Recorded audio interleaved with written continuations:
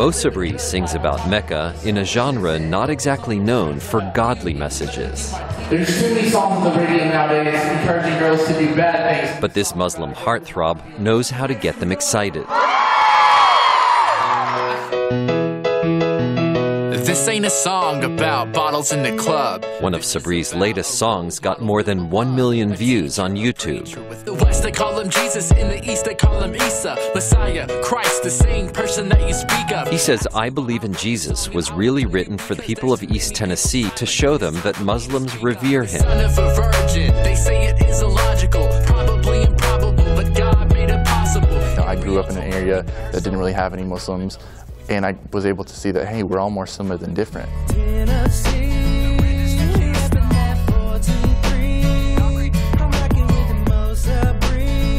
For me, I was like, I want to reach out to my neighbors and show that Muslims and, and, and Christians as a whole can experience what I experience. Sabri's song became popular as another video went viral recently.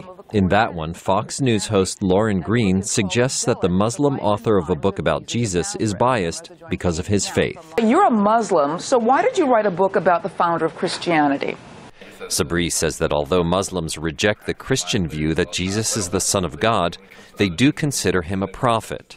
There's so much misinformation about Muslims. I mean, to think that a, a Muslim can't talk about Jesus or can't love Jesus um, is, I think, just the wrong idea, and my goal is to dispel that idea. Why does our religion always have to cause division? In reality, we're all more Similar than different. Jesus Sabri says he was inspired by Hasidic reggae artist Matisyahu, who gained a wide following rapping about Jewish themes. I just liked how he always had, um, he didn't have to succumb to, I guess, any of the pressures of, I guess, writing music, and he was different, and um, he had uplifting songs that were spiritual. You know, it's, it's really nice to be a role model for the kids and for the youth and the adults because there's not too many people doing what I'm doing.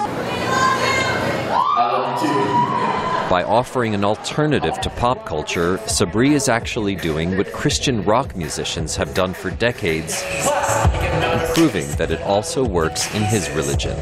Jerome Socolovsky, VOA News, Washington.